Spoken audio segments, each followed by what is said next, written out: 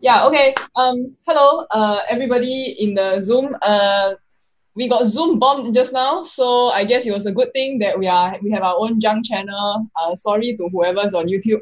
Um, so anyway, uh, welcome to the 50th edition of uh, Talk CSS. Uh, we unfortunately, COVID is still a thing.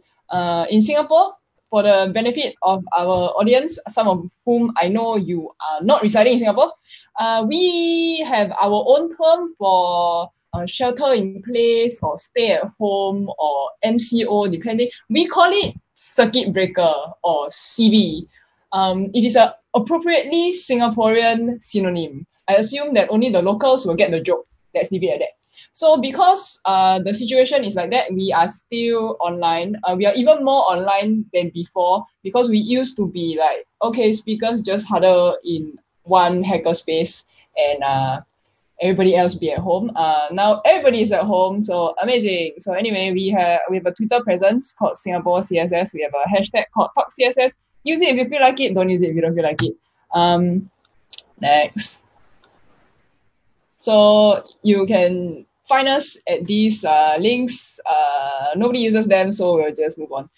Uh, so I, I have a code of conduct. Uh, we do not tolerate harassment of participants of any kind. Uh, we got Zoom bombed, so clearly we need to do better. But like in general, uh, I think the, the rest of you are fairly decent people. So uh, yes, Akong says behave yourself or you'll be kicked out. Uh, shout outs to engineers.sg who uh, will contain the post-produced cuts of uh, all the talks today. Um, and we must also, as always, shout out uh, Chion, who is a Sweat King of Singapore. He is not around uh, in this particular meetup at this particular time, uh, but know that we will always uh, give him a mention because he printed the first crop of stickers that Singapore CSS ever had we also have friends. Uh, uh, we we kind of were offshoot of our uh, sister meetup, uh, SingaporeJS, uh, who who is still going on. I think occasionally. Uh, in, in theory, it's every month. Uh, like they are middle of the month, we are start of the month. Uh, uh, our best friend uh, meetup is called React Knowledgeable. Um, we have a link. We have a slide for them later, so never mind. Move on. Host of the month, interwebs. It has not changed for the past four months. Color of the month, like everybody's no, not everybody. My my favorite segment is uh color of the month. So in case you all didn't know, there are 148 named CSS colors, which is enough for 12 years plus plus plus worth of meetups. Um, we are at about year four, so don't worry, lots of colors to go. Color of the month is cornflower blue. It's one of the longer names, but remember, when you're using a named CSS color, no spaces, no dashes, no underscores. It's just one single long word. Uh, you can read it however you want. You can say cornflower uh, blue, but like I think it's cornflower blue. Uh, so if you don't like hex codes, you don't like RGBA codes, uh, you can use this English word, beautiful English word, cornflower blue. Where did it come from? cornflower blue is a shade of uh, medium to light blue, containing relatively little green compared to blue. Uh, this hue was one of the favorites of a famous Dutch painter, uh, Johannes Vermeer. I think I butchered his name, but never mind. Uh, the most valuable of blue sapphires are also called cornflower blue. So this is a very valuable color here. Um, name CSS colors actually were pulled from the X11 colors. So this cornflower blue was part of the initial set of 68 that was committed to the X11 uh, repo on the 19th of August, 1985. Just useless trivia that you probably never need to know. So the agenda for today uh, is HTML and CSS news on the month by me. Uh, very long. Oh my god. I always wondered like is it is it because everybody is stuck at home and then like everybody's like uh yeah let's just push features and write more specs and update everything. I don't know. Really long. Uh, and then a lot of people wrote articles, a lot of people made code pens. So uh, I'll just highlight a few of the, the more interesting ones. Um, yeah, and then we have What's New in HTML uh, by um, our original co-founder Chris Lienert dialing in all the way from Melbourne. So he's like in the wrong time zone, but Hi, hi, Chris. Thanks for coming. And uh, we have uh, how to build this spinning Batman sheet by also um, uh, one of our very uh, familiar local speakers, Zell, who uh, probably is like bouncing his daughter on his knee right now. So I'm gonna move on to the news. Let's see. Okay, I'll get rid of this and share the appropriate screen. Zoom is so unwieldy. Okay, uh, HTML and CSS news for the month of May. So uh, 75, uh, Firefox. 75 uh, was released month of May. So bunch of bug fixes, lots of stuff, blah, blah, blah, blah, blah. The only thing I want to talk about is uh, the min function, man, max function, and clamp functions. So these uh, mathematical, okay, not really mathematical, but like CSS functions have been implemented in 75.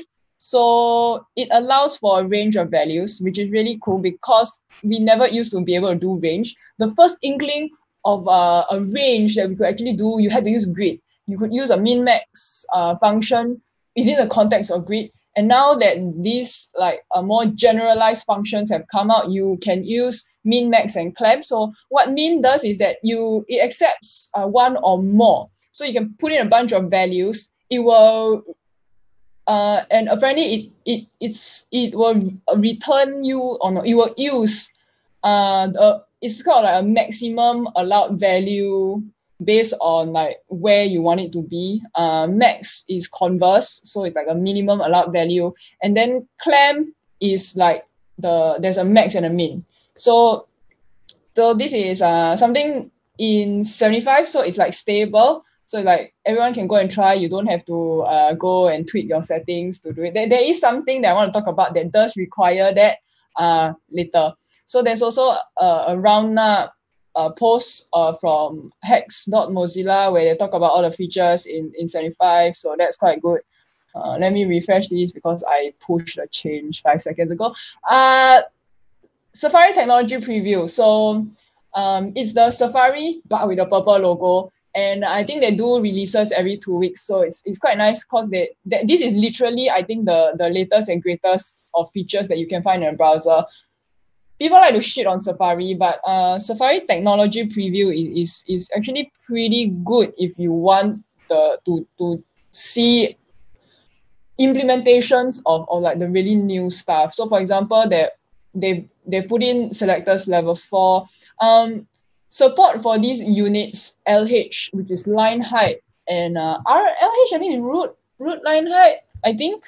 Um, so LH is equal to the computed value of line height, while root LH, RLH, is, is um, I believe, uh, line height of the root element as opposed to the current element. Um, there's a someone wrote an article on CSS tricks, so it's also in in the links. Um, what else? What else? let's see. Okay, uh, CSS color four. Okay, a lot of these are bug fixes. So no, not gonna talk about this. Uh, this is fun. Um, okay, the entire browser is shared, so I can open new tab. I love this bug or issue report because revert the revert of revert. Um, there is a CSS value known as revert um, I think when Chromium first released it, there was an issue. So they like reverted the revert before reverting it back again. So it's, I just like this title. I'm like, come on, guys. Amazing. Uh, the gap property is finally in Chrome Canary. I mean, Firefox had it for so long, and I've used gap in so many places, and then I've always had to write a fallback for, for, for Chrome, and now I'm like, oh, okay, okay, it's in Canary, so hopefully eventually it'll be like standardized, which would be nice. Um, and also, my not so secret, not very secret, secret agenda is to sort of like have convinced Chrome people that they need better grid tooling because if you used to if you're u- using uh, Chrome to do to grid, there's no numbers and, and stuff like that. But oh look, numbers. I mean, it, it is slightly similar to the what you call uh, Firefox implementation this is a good sign, my friends.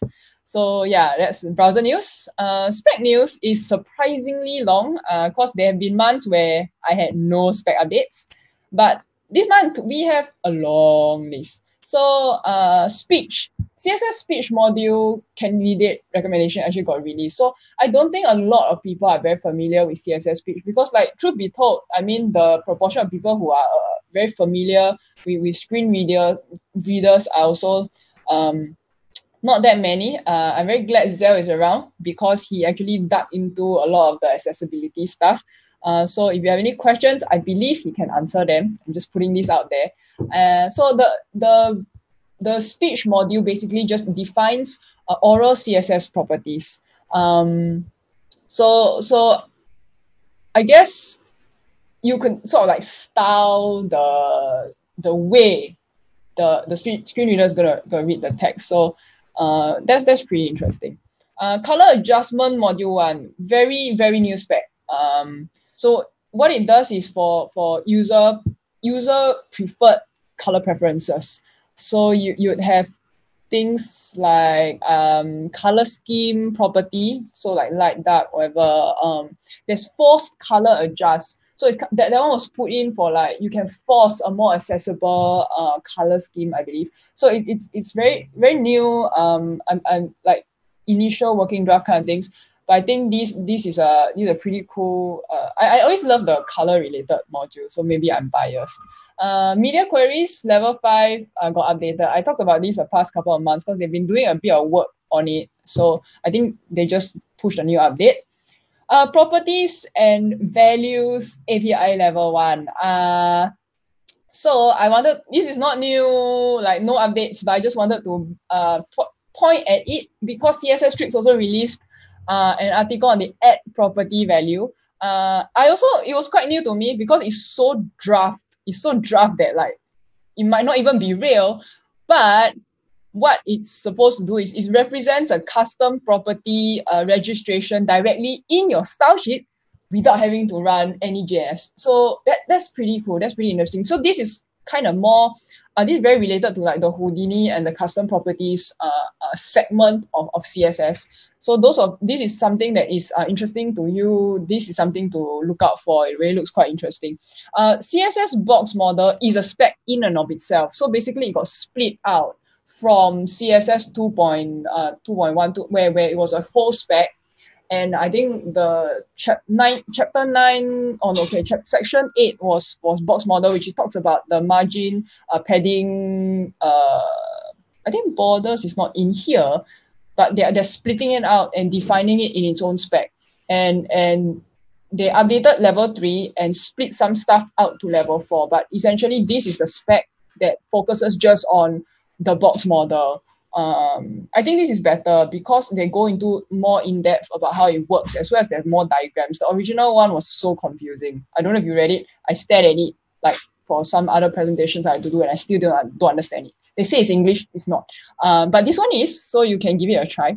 Uh, CSS text module level 3 working draft was also ad- up, updated. Text module is nice.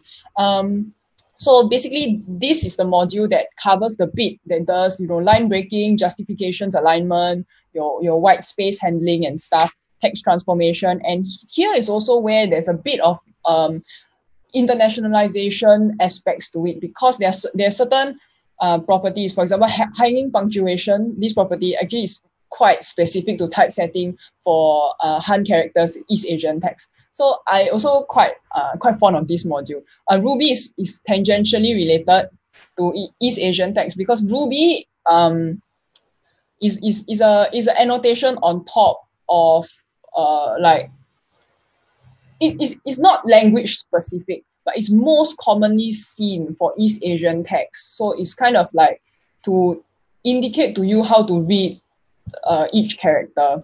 Uh, so you can do this on the web.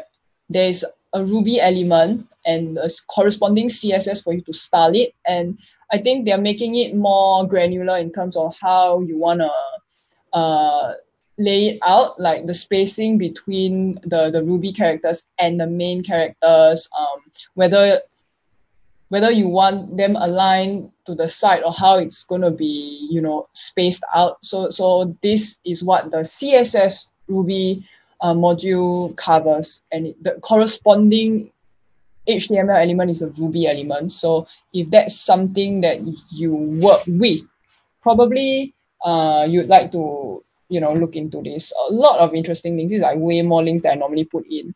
Uh, CSS findings from the new Facebook design is a really interesting article because like I think most people got like the new rollout about like this month, last month. So this gentleman, um, he's like a CS walking CSS encyclopedia.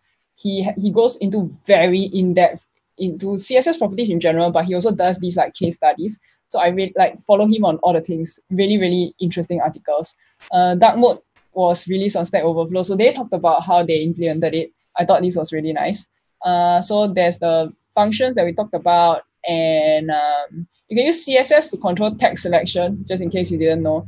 But I want to highlight the cool code pens section because um, this lady, uh, I can't pronounce her last name, so I'm just going to try. Sarah Fossheim. These are like, this is the best on the internet. Come on. As you can see, the CSS column is empty. This is not an image, my friends. It's CSS. So like since everyone's playing Animal Crossing, I, I guess you know the Switch is a very apt uh, piece of art. Uh, oh, oh, this was this is also quite cute. Uh, yeah, you can. Oh, uh, and I also want to highlight the cat because you know it's a cat. So yeah, uh, animated Snorlax. So like, that's nice. Again, JavaScript is 404. I love people and, and they are creative with. I also have a favorite HTTP uh, status code. We can talk about this like next year's April Fool's Day. Uh, this is very, very nice. And uh, it's, it, spring is over. Uh, Singapore is very hot. I'm very unhappy. But so let's just look at a cat typing. So anyway, that's it for news updates. Uh, I've dragged this on long enough, so I'm going to hand over to Chris. Stop share.